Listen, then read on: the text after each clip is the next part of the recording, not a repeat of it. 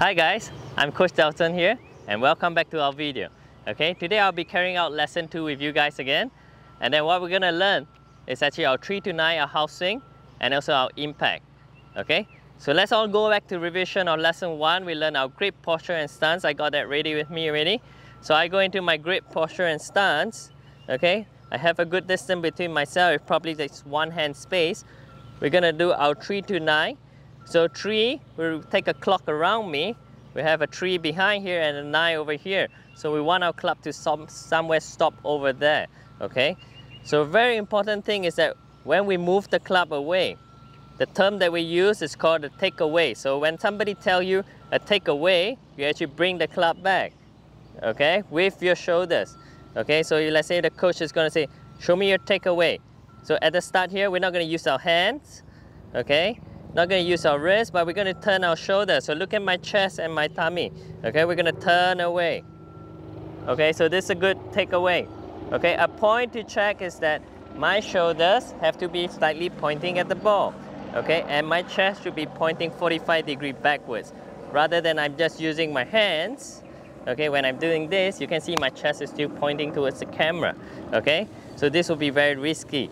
Okay, so let's try and feel on the backswing take away at 3 o'clock, we're going to turn our chest and my shoulders backwards. Okay, so somewhere over here. Okay, so that will be my 3 o'clock. Okay, next thing, for my 9 o'clock, okay, my follow through. Okay, so when I'm going to do my 3 o'clock, I'm going to turn through. 9 o'clock, I'm going to feel like my chest is turning. Having my, my arms both are straight, try and keep my right shoulder slightly down. Okay, so it looks something like that. Backswing, take away, 3 o'clock and 9 o'clock with my chest. So you'll notice that I do not have any wrist movement going down like that, okay, or going out like that. Okay, we want to have our chest turning. So we go 3 to 9 and stop. Okay, so that will be our 3 to 9 half swing. They will actually help you get hitting the ball.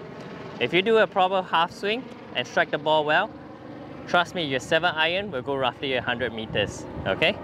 Next up, let's share a little bit about impact, okay? So some of you guys always share that, hey, I'm doing the swing correctly, my, my ball is not flying. So a very simple analogy, okay? Where must you hit on the ball? You must hit the ground. You must brush the ground, okay? So that means you have to hit underneath the ball. If you do not hit underneath the ball, no matter how beautiful your swing is, your ball's not gonna fly, okay? So let's have a brushing sound through the swing, okay? And that will help you get the ball lofted, okay? So a lot of customer will ask, okay, what is impact and motion, okay?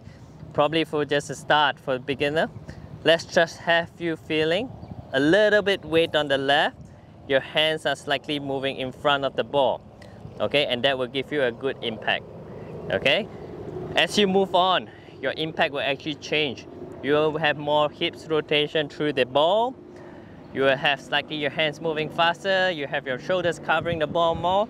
But as for now, for the start, let's just have your hands and your weight slightly to the left. Okay? So hopefully these few tips of having your 3 to 9 give you a better understanding of your half swing and also a better impact. Okay? Good job guys. I'll see you next time.